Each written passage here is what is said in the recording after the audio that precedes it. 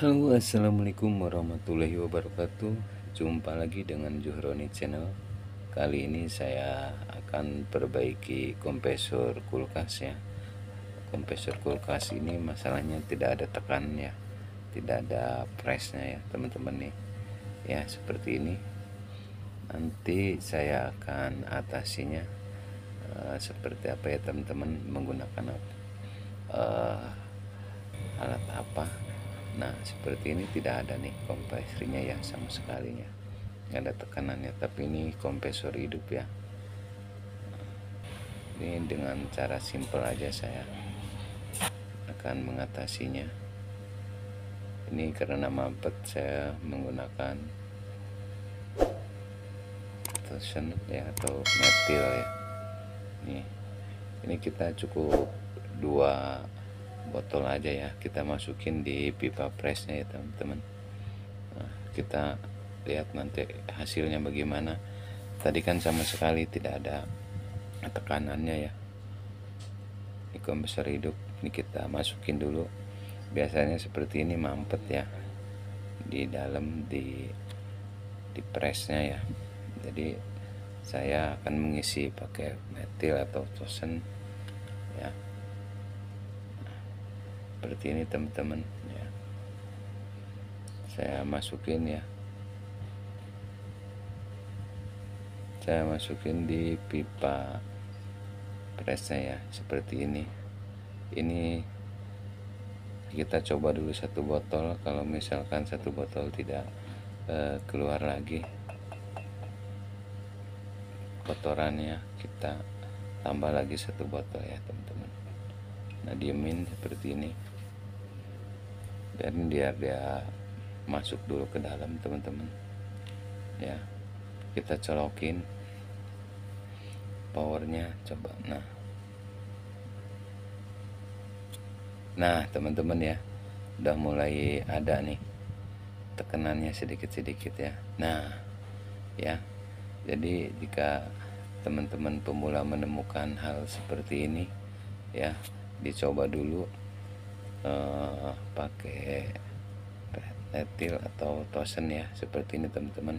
Bila menemukan kendala uh, kulkas tidak ada apa kompresor tidak ada presnya uh, dengan cara simple kita uh, memasukkan cairan tosen atau metil ya. Nah, nah seperti ini teman-teman. Udah ada ya. Nanti saya akan uh, memasukin lagi satu botol lagi. Soalnya ini masih kecil. Nanti setelah kotorannya keluar kita tuangin olinya buang. Saya akan mengganti oli baru ya teman-teman.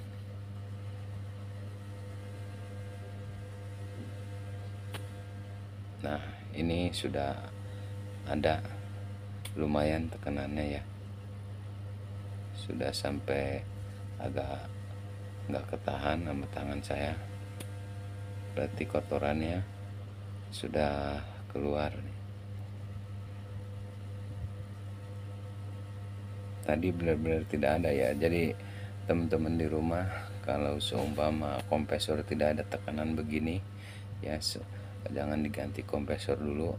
Kita coba dulu menggunakan tosen ya atau metil kalau kita ngedadak gitu ya di rumah konsumen kayak saya nih langsung di rumah konsumen. Ini tadinya preonnya masih banyak teman-teman. Cuman mesin hidup. Tapi tidak ada tekanan. Jadi saya uh, usahakan uh, dites diperbaiki dulu apakah bisa presnya keluar atau tidak.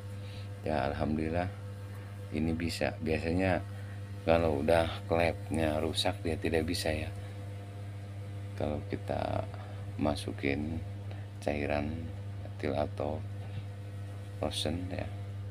Ini saya uh, dua botol ya. Saya menggunakan ini. Biasanya saya begini dengan cara simple aja. Kalau saya dibawa ke rumah biasanya saya pakai tenor juga bisa ya. Dibersihkan karena ini kita dadakan di rumah konsumen. Jadi saya biasanya menggunakan tosen ya teman-teman pakai cara tosen. Ini saya tunggingin dulu biar benar-benar tosennya masuk ya. Nah sekarang saya buang olinya. Nah olinya ini udah kotor teman-teman sedikit pula lagi. Nah ini tukang foto teman-teman. Nah. Merokok mulu. ini olinya sedikit kotor banget tuh teman-teman. Berarti mamputnya sudah eh, hancur sama cairan tosen. Jadi saya tuangkan dulu. Nanti saya akan menggantinya Ah, tuh. Kotor.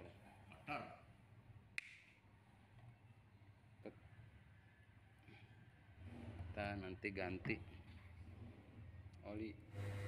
nah teman-teman saya akan mengganti olinya ya.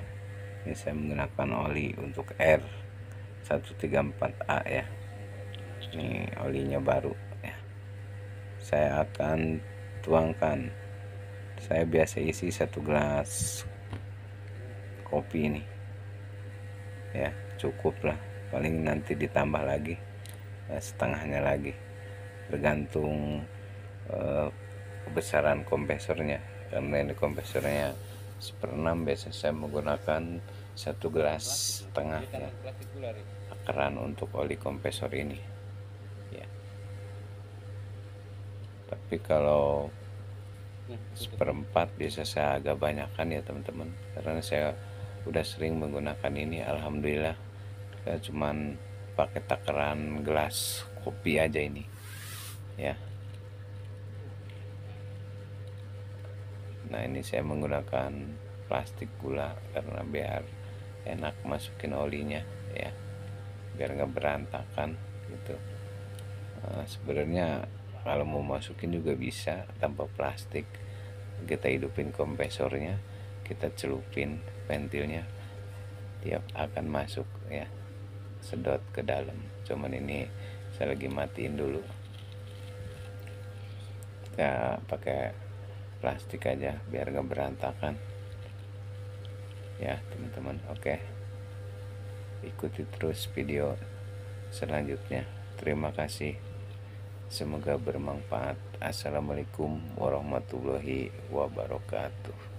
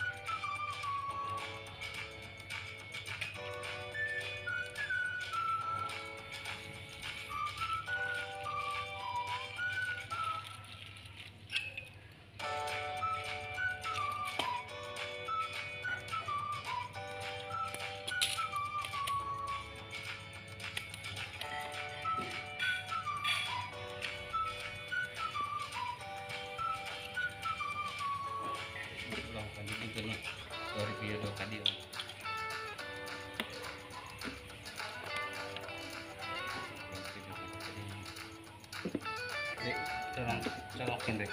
Oh iya tadi nih video. Itu ada yang. Langsung lompat tadi deh. kumpulkan